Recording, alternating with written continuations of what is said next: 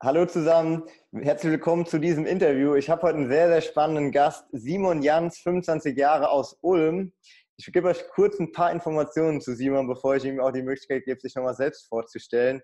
Ähm, Simon hat damals auch bei Elatissen gespielt, bei, heute bei Steig, ähm, hat einen Bachelor und Master in BWL gemacht mit dem Schwerpunkt Finanzen.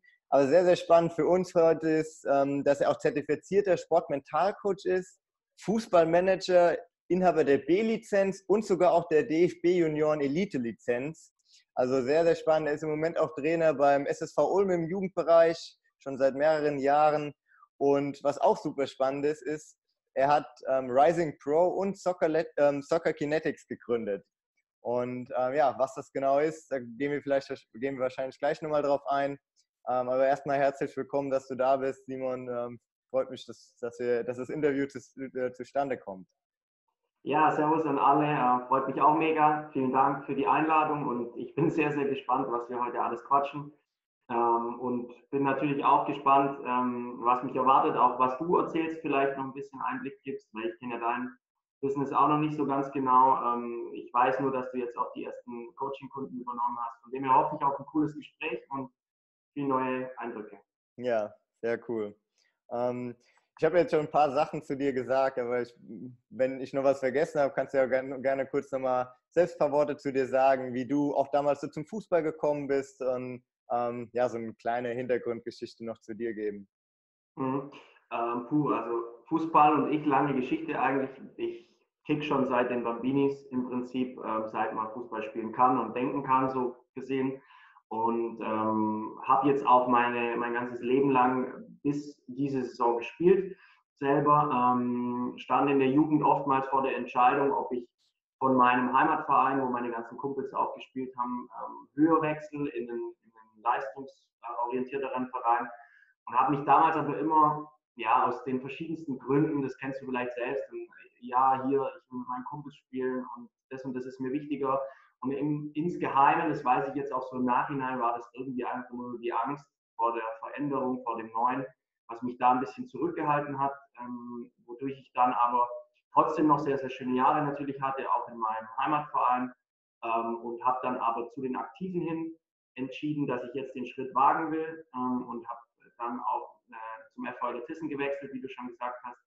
Habe da eineinhalb Jahre auch gespielt ähm, in der Landesliga Bayern und bin dann aber studienbedingt äh, nach Magdeburg gegangen, um dort mein Masterstudium ähm, zu machen und musste dann halt die Entscheidung auch treffen, was mir wichtiger ist. Und logischerweise geht da für mich einfach die Bildung und, und der Berufsweg voran. Und deswegen habe ich mich dann so entschieden, da auch ähm, einfach meinen Pass wieder in den Heimatverein zu geben, zu sagen, wenn ich hier bin, gerade in Semesterferien ähm, und so, dann, dann spiele ich auch.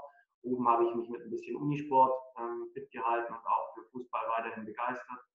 Und als ich dann wieder zurückkam, so 2017, da habe ich dann nochmal ein Jahr auch gespielt, ähm, aktiv. Und habe aber parallel dann auch schon eben meine Trainerlaufbahn beim SSV Ulm begonnen, wo ich dann auch das Glück hatte, gleich reinzukommen als Co-Trainer. Ähm, und deswegen, ja, ist, ist Fußball eigentlich so seit den letzten zwei, drei Jahren sowohl als Trainer als auch als Spieler sehr präsent. Und jetzt vor dieser Saison ähm, habe ich dann aber auch die Entscheidung getroffen, dass ich mich wirklich komplett auf mein Trainerdasein fokussieren will. Ähm, dann auch ähm, selber als Fußballer im Prinzip einen Schritt zurück gemacht und ähm, habe für diese Saison jetzt auch abgesagt und will da jetzt wirklich als Trainer Vollgas geben, habe auch die Union Elite Lizenz gemacht jetzt und ja, bin mit Begeisterung äh, nahezu jeden Tag auf dem Trainingsplatz und arbeite gern mit meinen 15 Jungs beim SSV Ulm ähm, Wahnsinn, was du in dem Alter für Fortschritte siehst, ähm, innerhalb von wenigen Wochen auch, wenn du neue Gebiete erarbeitest. Und ja, deswegen, das macht mir sehr, sehr viel Spaß und da bin ich mit Leidenschaft dabei und ähm, ja. auch selber natürlich noch sehr viel dazulernen jeden Tag. Ähm, und deswegen ist es, glaube ich, die richtige Entscheidung auch gewesen und äh, da stehe ich voll dahinter und gebe das. Ja, sehr cool. Ich glaube, die Leidenschaft teilen wir auf jeden Fall und sehr spannend auch, was du gesagt hast von damals, dass du so rückblickend ähm, so ein bisschen erzählt oder ein bisschen erkannt hast, ähm, was dir da vielleicht manchmal so, ähm, was dich ein bisschen daran gehindert hat, nochmal höher zu spielen. Ich glaube, solche Erfahrungen, ich meine, du kennst das ja bestimmt bei mir auch schon so ein bisschen. Solche rückblickenden Erkenntnisse hatte ich ja auch und versuche die natürlich jetzt auch weiterzugeben. Deshalb finde ich super, dass du da ähm, ja, dem Sport, dem Fußball treu geblieben bist und ähm, ja, die Erfahrung jetzt weitergibst und jungen Fußballern hilfst. Und ähm, das, was du gesagt hast, kann ich auch nur bestätigen. Ich glaube, gerade auch das Alter 13, 14, 15, 16 ist so das Lernalter, hat mein Papa immer gesagt. Und ähm, da kann man eben ja so viele, so viele positive Veränderungen noch erzeugen, besonders im Technikbereich. Und dafür hast du ja zum Beispiel auch das Soccer Kinetics Programm entworfen und auch das Rising Pro Programm. Ähm, kannst du darüber so ein bisschen nochmal was erzählen? Weil ich glaube, ähm, beide Projekte, äh, ich habe mir beides ja auch angeguckt, sind sehr, sehr spannend und helfen einfach Fußballern nochmal ihre Leistung zu steigern. Deshalb ähm, kannst du auch darüber nochmal gerne ein bisschen erzählen. Mhm. Äh, ja, also der Gedanke, das Ganze zu gründen, kam eigentlich genau aus dieser ähm, Situation raus, was ich vorhin geschildert habe, nämlich diese Selbstzweifel damals auch in meiner Jugend, ähm, wo denn die Reise hingeht. Und jetzt rückblickend natürlich äh, denkt man sich, hey, wie bescheuert kann ich eigentlich sein? Warum habe ich damals nicht ähm, zumindest mal ausprobiert, in einen anderen Verein auch zu wechseln? Und ähm, ja, damit habe ich mir eigentlich selber so, so die Chance genommen, im Fußball dann wirklich auch weiterzukommen. Und letztendlich wollte ich dann dieses Wissen rund um das ganze Thema, was ich mir dann in dem Zug auch angeeignet habe, weil ich einfach die Motivation hatte zu sagen, hey, ich will Fußballern, die vielleicht genau vor der Entscheidung auch stehen, die 14, 15, auch 13 Jahre alt sind und, und genau mit solchen Zweifeln kämpfen oder mhm. äh, auch schon den Schritt gewagt haben, aber sich jetzt in, in anderen Bereichen noch weiterentwickeln wollen, wie zum Beispiel der Ernährung oder gerade ähm, die Optimierung vom Training da möchte ich einfach mit meinem Wissen unterstützen und ähm, habe dahingehend dann Rising Pro gegründet, auch was ja die Wissensplattform für die Bereiche Training, Ernährung und Mindset werden soll. Ähm, das ist, sind so die drei Bereiche, wo ich halt ganz klar sage, das ist das Entscheidende. Mhm. Ähm, es zählt nicht nur auf dem Platz, sondern Fußball ist wie ein Puzzle eigentlich und es müssen ganz, ganz viele Puzzleteile ähm, da stimmen auch, damit die Leistung und der Erfolg sich letztendlich dann auch zuverlässig einstellt. Und ähm, deswegen ist die Philosophie der Plattform, gemeinsam mit anderen Experten ähm, dann dieses Wissen auch bereitzustellen. Also nicht zu sagen, jetzt ich bin derjenige, der sich top auskennt mit Ernährung, der im Trainingsbereich alles weiß, sondern eher der Vermittler zu sein für die Plattform, ähm, damit dann Experten aus dem Bereich Training, zum Beispiel arbeite ich da jetzt sehr erfolgreich mit der Heidi Jabusch zusammen, Ernährungswissenschaftlerin, ähm, die dann dieses Wissen im Bereich Ernährung liefert, weil wir wissen alle, dass äh, eine Person nicht alles wissen kann und ich glaube, das ähm, maßt sich auch niemand an, zumindest wir beide nicht. Und von dem her macht es einfach Sinn, da Experten mit dazu zu nehmen und die, die Feedbacks sind sehr positiv. Wir sind dann auch in dem Projekt ähm, auf den Platz gegangen, also nicht nur online, sondern bieten mittlerweile auch Individualcoachings in Ulm an wo wir dann Athleten tatsächlich auch im Bereich Training betreuen ähm, und haben jetzt auch seit 2019, äh, seit 2020 ein eigenes Mentoring-Programm, wo wir dann Spieler, die wirklich sagen, ich will jetzt richtig Gas geben und will alles aus mir rausholen, ähm, wo wir dann die Bereiche Training, Ernährung und Mindset individuell für diesen mhm. Spieler planen und umsetzen. Also man muss sich das praktisch so vorstellen, dass wir uns dann zusammensetzen, je nach Alter eben mit dem Spieler oder auch mit dem Elternteil dann und dann besprechen, hey, ähm, wie sind die Ressourcen, wo hast du Mannschaftstraining, der trainiert zum Beispiel ähm, Dienstag, Donnerstag ähm, hat er Mannschaftstraining und vielleicht noch montags, dann sagen wir, okay, dann macht es vielleicht von der Trainingssteuerung Sinn, dass wir einfach äh, freitags, wenn er zum Beispiel sonntags ein Spiel hat, ähm, dass wir dann freitags noch ein Individualtraining mit einbauen und außerdem im zweiwöchentlichen Rhythmus zum Beispiel Mental Coaching und einmal im Monat ein Ernährungscoaching bei der Heidi. Cool. Und ist quasi so seinen kompletten Trainingsplan für die drei Bereiche. Und wir gucken dann als Mentoren und Koordinatoren eben drüber, dass er dann sein Training optimal steuert und natürlich auch gleichzeitig hier in der Birne weiterkommt und was das Thema Ernährung angeht. Und cool. da haben wir zwei drin. Ähm, wir nehmen maximal auch drei nur auf, weil wir sagen, nur so können wir dann auch die Qualität gewährleisten in dem kleinen Rahmen. Und die zwei Athleten sind total begeistert, die Eltern auch. Ähm, und das ist eigentlich das Coolste daran, wenn man dann einfach merkt, wie das bei jemandem zieht, was der für Erfolge macht und ja, was man da auch für einen Mehrwert schaffen kann. Mhm. Sehr schön, ja. Das ist Rising Pro und ähm, ja, ähm, macht einfach ultra viel Spaß, da auf dem Platz auch mit den Jungs zu arbeiten und den Mädels. Wir haben auch zwei Mädels ähm, und deswegen ähm, hat sich daraus dann auch eigentlich aus so einer Geschichte, wo ähm, ja, wo ich dann einen Experten gesucht habe für Rising Pro, nämlich für den, für den Bereich Training, habe ich mich dann damals mit Alex Glöckle zusammengesetzt. Alex Glöckle ist äh, ausgebildeter Live-Kinetik-Trainer und mittlerweile auch Neuroathletik-Trainer und hat dann ja so in einer Stunde eigentlich äh, über das Thema äh, Koordinationstraining, Kognitionstraining, visuellem Training philosophiert. Und ursprünglich war eigentlich nur ein Wissenspaket für Rising Pro geplant und mittlerweile ist daraus aber Soccer Kinetics entstanden, weil wir einfach beide erkannt haben, das Ding ist viel, viel größer als ein Blogbeitrag und ein paar Videos dazu. Ähm, und Soccer Kinetics ist eine, eine Trainingsplattform, wo wir quasi die Philosophie haben, dass wir äh, herkömmliches Training, also man stellt sich vor, zwei Spieler passen sich den Ball zu, eben mit kognitiven, koordinativen und oder visuellen Elementen verknüpfen. Also das heißt, wir nehmen dann zum Beispiel zu dieser herkömmlichen Passform ein koordinatives Element hinzu, indem der ähm, jetzt zum Beispiel seinen zweiten Ball, den er in der Hand hat, parallel dazu noch hochwerfen muss und wieder fangen muss. Wir nehmen ein kognitives Element hinzu, indem beide Passende bei jedem Pass eine Zahlenreihe hochzählen. Also beim ersten Pass 3, 6, 9, 12, dann vielleicht mit komplizierteren Zahlenreihen etc. Wir nehmen ein visuelles Element hinzu, in dem dann zusätzlich noch eine Augenklappe ähm, aufgesetzt wird, um einfach auch die Wahrnehmung und das räumliche Sehen mitzutrainieren. Also da geht es einfach darum, herkömmliche Technikübungen mit diesen drei Dimensionen zu verknüpfen.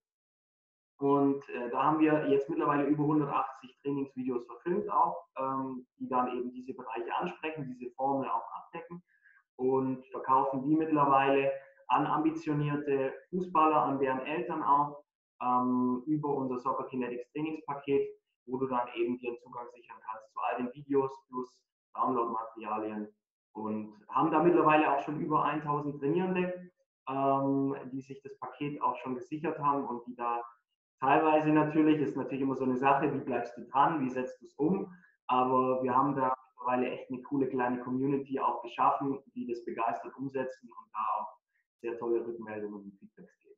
Sehr cool. Ja, super. Also finde ich echt, echt, geil. Und ich fand auch das Bild ähm, Fußball ist wie ein Puzzle sehr, sehr gut ähm, weil ja, es sind wirklich sehr, sehr viele Bereiche. Man sieht immer so die Leistung am Platz. Ich, ich denke mir das manchmal, das ist wie ein Eisberg. Man sieht oben die Leistung auf dem Platz und unten drunter, dass das alles dazugehört, um die Leistung zu bringen. Ja, das, das sieht man einfach nicht. Das sind genauso Dinge, wie, wie was du jetzt auch angesprochen hast. Ähm, wenn du mal so deine Arbeit mit den ganzen Jungs und auch äh, deine Vereinstätigkeit und dein Training beim SSV Ulm ähm, so bedenkst. Was ist so, so ein oder zwei Punkte, mit denen ja, sich, sage ich mal, die meisten Leistungssteigerungen auch noch erzielen lassen oder wo, wo die meisten Spiele auch in gewisser Weise Probleme haben, wo sie mehr trainieren sollten? Mhm. Ähm, also ich will es mal gerade auch bei den drei Bereichen vielleicht behalten, also dass wir da einmal den Bereich Mindset, einmal den Bereich Training und Ernährung anschauen, weil alle drei Bereiche, wie gesagt, für mich sehr wichtig sind. Ähm, Im Bereich Ernährung ist es für mich ganz klar die Basisernährung. Also viele äh, Sportler machen meines Erachtens nach den Fehler, dass sie viel zu schnell an die Spitze des Eisbergs für mich in dem Fall gucken und sagen, äh, hey, wie kann ich noch Proteine supplementieren oder ich habe viel zu wenig Eiweiß, ich gehe noch zweimal die Woche ins Fitness, ich muss Eiweißshakes trinken. Ähm, und dabei konzentrieren sie sich viel zu arg auf diese Supplementierung und vergessen dabei aber, dass das Wichtigste eigentlich ist, dass ich am Tag genug Wasser trinke, äh, dass ich viel Kohlenhydrate über natürliche Lebensmittel esse, viel Proteine, viel Eiweiße. Und erst wenn die Basisernährung stimmt und ich da wirklich ähm, gut optimiert habe und auch bewusst mich ernähre, dann kann ich über so Supplementierungsthemen nachdenken. Und da haben die meisten einfach, gerade im Bereich Trinken, finde ich, ähm, noch den meisten Nachholbedarf, die einfach zu wenig Wasser trinken oder überhaupt kein Wasser trinken, weil sie den ganzen Tag irgendwelche ähm, Süßgetränke oder sonstiges trinken. Und da würde ich jedem empfehlen, wirklich darauf zu achten, ähm, die, die, das Trinkverhalten komplett auf Wasser umzustellen. Außer du hast ähm, sehr hohe Belastungen, dann würde ich äh, dir dünne Saftschorlen empfehlen, Johannisbeerschorlen, Apfelschorlen. Ähm, und ansonsten, wie gesagt, in der Basisernährung komplett auf Wasser gehen und die ganzen Süßgetränke etc. Mhm. Mhm. Ja. Also das wäre so Tipp 1 aus dem Bereich Ernährung, der auch sehr einfach umsetzbar ist. Zum Beispiel mit so einem Quick-Tipp einfach eine Wasserflasche hier ständig neben sich zu stellen. Ähm, dann vergisst du es niemals zu trinken, weil die steht da die ganze Zeit und immer in einer kurzen Pause, wenn du jetzt arbeitest oder in der Schule, wie auch immer, dann, dann trinkst du. Das machst du mhm. automatisch. wenn du die ja. Flasche allein schon dadurch kannst du deine Leistungsfähigkeit einfach so krass steigern ähm, mit so einem einfachen Hack. Mhm, sehr cool. Im Bereich ja. Training hattest du ja auch eben gesagt, sag ich mal, dieses ähm, mit verschiedenen, verschiedenen Kanälen trainieren, dass verschiedene Elemente noch hinzufügen. Äh, was ist so ein Tipp im Bereich Mindset, also in, deinem, in dem letzten Bereich von den drei jetzt, ähm, die du angesprochen hast?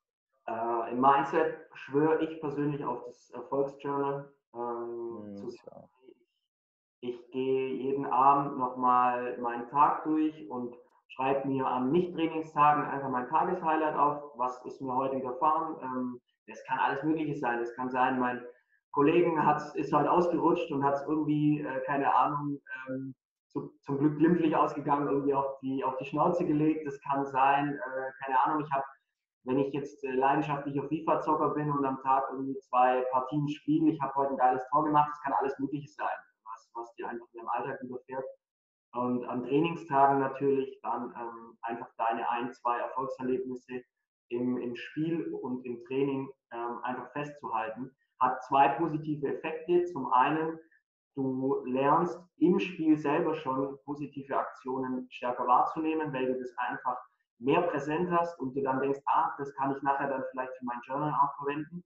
Und diese positiven Aktionen stärker wahrzunehmen, ist das Entscheidende, um dich im Spiel selber auch zu pushen. Ähm, weil ganz viele Spieler nehmen da einfach nur die negativen Dinge wahr. Ganz oft, wenn ich meine Spieler frage nach dem Spiel, ähm, hey, was ist dir vom Wochenende in meinem Kopf geblieben, ah, die Torchance habe ich vergeben und da habe ich einen Zweikampf verloren. Und was ist dir Positives im Kopf geblieben? Puh, boah, keine Ahnung. Also die Gewichtung mhm. vom nächsten ist einfach von Grund auf bei uns viel, viel zu stark im Kopf verankert. Und da das positive Präsente sich reinzuholen, während dem Spiel auch, ähm, ist so der erste große positive Effekt daraus. Und das zweite ist einfach, dass du auch dann lernst zu Hause nochmal, ähm, ja, bewusst einfach deinen Tag zu reflektieren, was dir gerade in, in Down-Phasen einfach unglaublich viel bringt. Weil gerade wenn du jetzt eine Verletzung hast und einfach äh, ja, negative Gedanken dazu hast, dann das Erfolgsjournal rauszuholen, zu gucken, hey, was habe ich eigentlich Tag für Tag jetzt die vergangenen Monate geleistet. Ähm, das ist echt Gold wert. Damit machen auch meine Athleten sehr gute Erfahrungen. Also das ist so der Tipp für mich im Bereich Mindset, weil für mich geht es immer um einfache Umsetzbarkeit. Das ist ja. gleich wie gerade auch bei Ernährung, wenn ich anfange, irgendwie komplizierte Ernährungspläne aufzusetzen und so Zeug, wo ich mich jeden Tag dazu zwingen muss, das zu machen, halte ich persönlich gar nichts davon. Weil entweder du implementierst es in deinen Alltag und es läuft wie Zähneputzen oder du lässt es bleiben. Weil alles andere machst du vielleicht mal irgendwie über zwei Monate oder so und dann denkst du, oh, es geht mir mittlerweile so auf den Keks, dann machst du es nicht. Mhm. Also ich stehe einfach total auf so einfache Hacks, wie mit der Wasserflasche, wie mit dem Erfolgsjournal, was dich irgendwie eine Minute oder fünf Minuten am Tag kostet, die jeder hat und ähm, die aber sehr große Effekte. Da stehe ich mhm. total. Das sind immer die Tipps, die ich auch meinen Jungs und meinen Trainierenden ähm, in der Rising Pro Academy auch gebe. Cool, ja. Also dazu, das kann ich auch nur bestätigen und ich wünschte, ich hätte das mit dem Erfolgsjournal oder in Amerika mit dem Success Journal gesagt, Hätte ich, ich wünschte, ich hätte das früher gemacht, weil ich war genau so ein Spieler. Ich, ich habe ein super Spiel gemacht, aber habe dann, keine Ahnung, ein Tor nicht gemacht oder drei Fehlpässe gespielt. Und nach ja. dem Spiel hatte ich nur das im Kopf. Ja. Und ich habe ich hab nie den Fokus so auf das Positive gelegt. Auf der einen Seite sage ich, das hat mich auch in gewisser Weise dahin gebracht, wo ich war, weil ich immer gesagt habe, okay, was kann ich besser machen? Ähm, ich ja. bin, bin, halt so ein selbstkritischer Mensch, habe gesagt, okay, da in der Situation hätte ich noch das verbessern können und habe mich immer an höhere Standards so herangetastet. Ich glaube, das ist auf der einen Seite wichtig, Auf der anderen Seite weiß ich genau, dass mich das auch abgehalten hat, weil ich nie da, deshalb dieses Selbstvertrauen hatte, wo ich sagen konnte, hey, guck mal, was ich schon alles gemacht habe, guck mal, wo ich schon gespielt habe, was ich für Tore geschossen habe oder ähm, ja, auch so einfaches Sehen äh, in der Schule, was ich für gute Leistungen gemacht, äh, schon gebracht habe. Also es, wie du sagst, es geht ja nicht nur im Fußballbereich darum. Also ähm, das hätte mir damals extrem geholfen und seit ich das mache, ich habe das dann auch in Amerika angefangen, auch regelmäßig Journals zu führen und ähm, ja, das war für mich auch so ein wirklicher Gamechanger. Also da zu sehen, hey, guck mal, was ich bereits alles geleistet habe und auch, wir haben, also in Amerika haben wir immer so gesagt, integrate your successes. Also integriere deine Erfolge, weil ganz oft geben wir uns gar keinen, ja, sind wir gar nicht stolz darauf, was wir schon alles geleistet haben und schauen nur darauf, was nicht so gut läuft. Also wie du sagst, und das kann ich nur wirklich auch jedem empfehlen, ähm, ja, diese einfache Aktivität, fünf, fünf, maximal vielleicht zehn Minuten am Tag zu machen, das hat einen Rieseneffekt. Also sehr, sehr guter Tipp. Ähm, ja, vielen, vielen Dank dafür.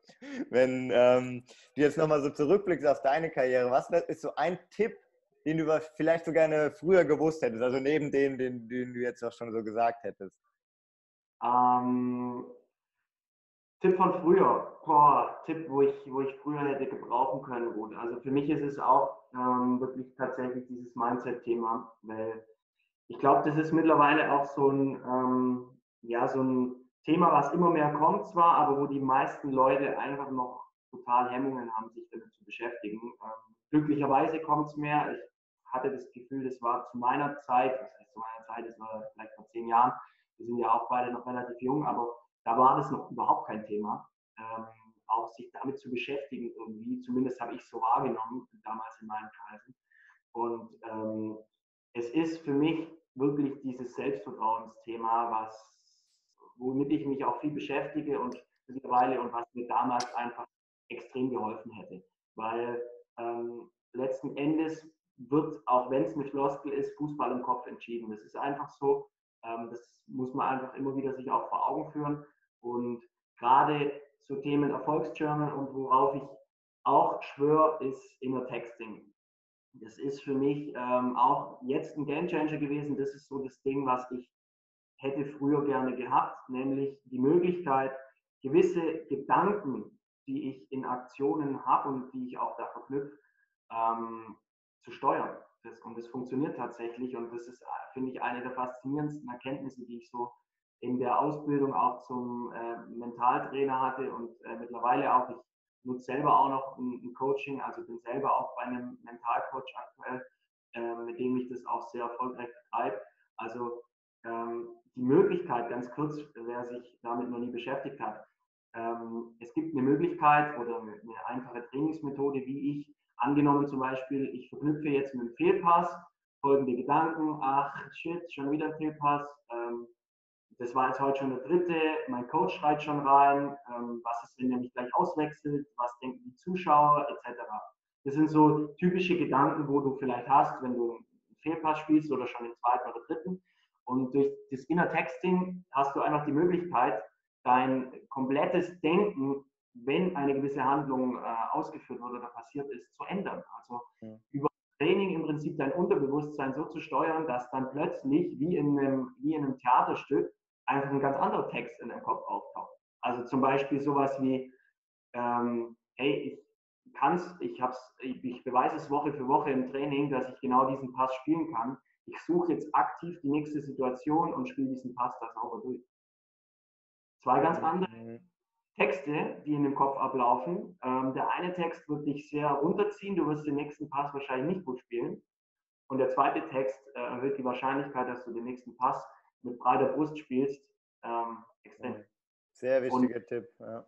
Das ist für mich äh, ein brutaler Gamechanger gewesen, den ich auch meinen Athleten alle im Mental Coaching mitgebe und den ich auch jedem, der jetzt dazu äh, zusieht, mitgeben möchte, sich mal damit zu befassen. Entweder dann natürlich bei dir jetzt im Coaching, ähm, du wirst die Technik sicherlich auch kennen, ähm, oder dann, äh, wie auch immer, man kann sich ja Dinge auch mittlerweile selber gut aneignen ähm, oder bei mir im Coaching. Äh, geht auf Inner Texting, beschäftigt euch mit euren Gedanken, ähm, die in gewissen Situationen auftreten und versucht die zu ändern. Das ist sehr, sehr wertvoll und kann dich extrem weiterbringen. Sehr guter Tipp. Also ja, super. Ja.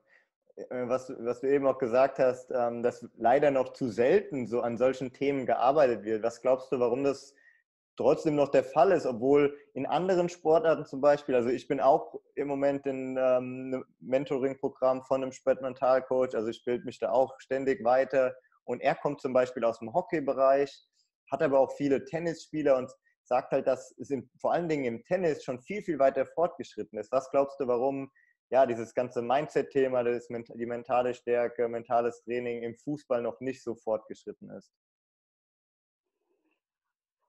Schwierige Frage. Ähm, ich, also jetzt in, in Abgrenzung zum Tennis ähm, kann ich es mir so erklären, dass da die Differenzierung ist zwischen Einzelsport und Teamsport, weil du im Tennis natürlich komplett auf dich selbst angewiesen bist. Und in dem Moment, wo du da versagst, äh, ist das Spiel verloren. Komplett. Das, mhm. Diese Möglichkeit hast du im Fußball natürlich zumindest nicht in dieser extremen Form, weil du natürlich noch zehn andere Spieler auf dem Platz hast ähm, und der Trainer dich zur Not auch auswechseln kann. Also diese, dieses mentale Versagen kommt da gar nicht so extrem zum Tragen und kann halt eher kaschiert werden, indem du dann als Spieler einfach selber noch mitspielst, bis das Spiel mhm. halt die Zeit abgelaufen ist oder äh, dich auswechseln lässt, wie auch immer. Also da besteht einfach im Einzelsport natürlich nochmal eine andere Dringlichkeit.